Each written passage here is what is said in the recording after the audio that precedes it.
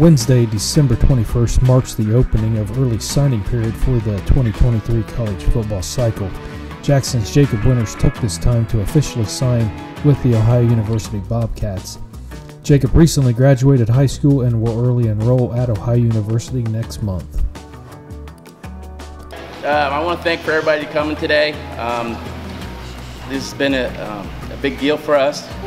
He's worked really hard for the last, what, 12 years since he started playing. Uh, I want to thank all my teammates, uh, my brothers for going to hell and back with me every Friday night. I want to thank my coaches for pushing me and teaching me more about the game. Uh, I want to thank Jason Prater at AP Prep for getting my body um, right to be able to do anything. And I want to thank God for giving me this opportunity and abilities uh, to do to do what I've done.